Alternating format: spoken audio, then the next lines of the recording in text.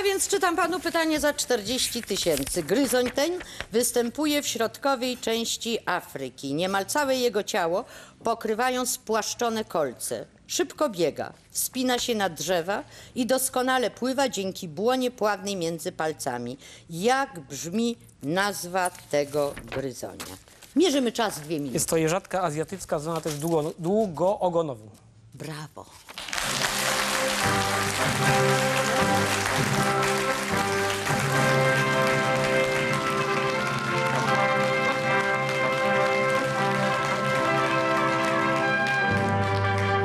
Przepraszam bardzo, pan e, e, doktor. Rzadkę afrykańską. A pan powiedział azjatycka. A ja na to Ja nie przeczytałem Azji.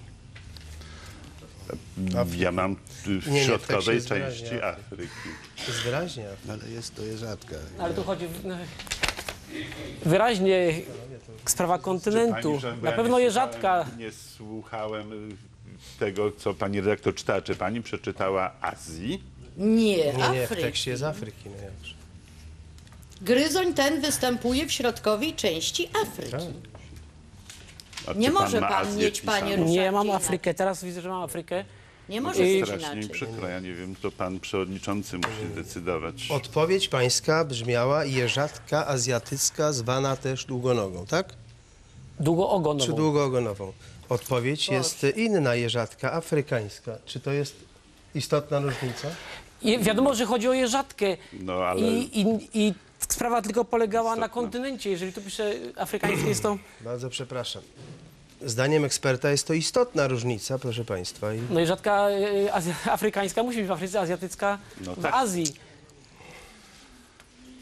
A więc czekamy na decyzję zresztą wszystkich trzech ekspertów, żeby byli uprzejmi, bo jeszcze tak, taka historia się nie zdarzyła, żeby zabrzmiały fanfary i nagle się okazało, że nie była to w pełni dobra. panowie zdecydować. Musimy zdecydować, ale.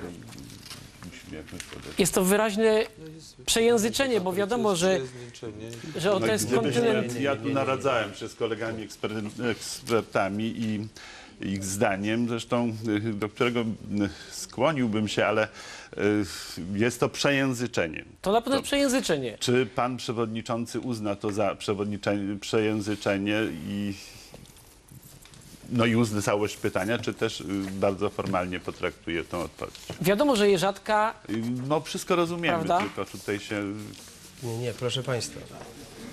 Czasu miał pan dużo. Trzeba było spokojnie przeczytać sobie to pytanie raz jeszcze.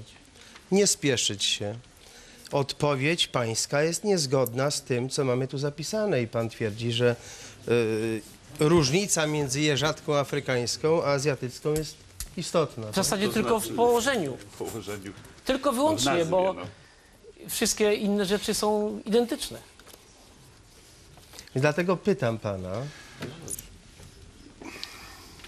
A Czy czy ja to- powiedziałem, że no, oczywiście jest to przejęzyczenie. Wiadomo, że w Afryce jest afrykańska, w Azji azjatycka, ale czy z formalnego, i ja bym, gdybym pytał studenta, powiedział, no pan się tu troszeczkę pomylił, ale oczywiście o to chodzi.